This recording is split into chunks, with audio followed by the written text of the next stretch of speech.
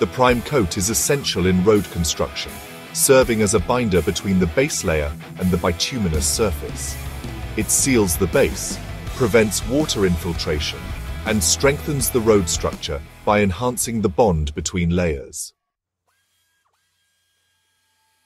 On a foggy morning, our team gathered at the site to execute the DBST first coat application. Equipment such as the pneumatic roller, bitumen distributor, and decanter was ready, while workers prepared to perform their tasks with precision. The process began with workers cleaning the road using wire brushes to remove loose debris and dust. Hand brooms were then used for finer cleaning followed by a compressor machine to blow away remaining particles, leaving the surface clean and dust-free. Bitumen blocks were melted in the decanter, transforming them into a liquid state. The liquid bitumen was pumped into the bitumen distributor's tank, where it was heated to 170 to 190 degrees Celsius. To achieve the proper viscosity for penetration into the base, kerosene was mixed in the distributor tank at a ratio of 40% kerosene to 60% bitumen. The mixture was heated and stirred thoroughly, ensuring readiness for application. Surveyors marked the road alignment before the prime coat application.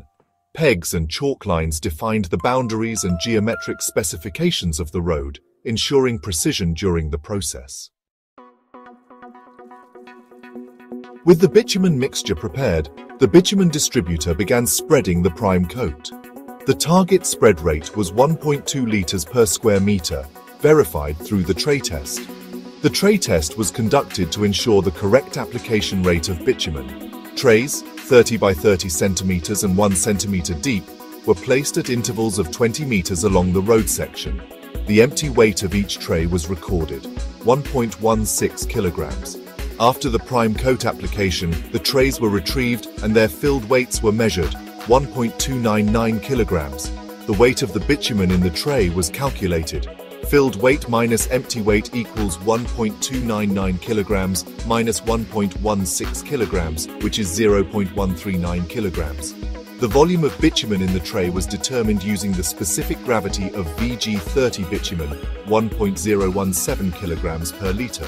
Volume equals weight divided by specific gravity, which is 0.139 kilograms divided by 1.017, resulting in 0.137 liters.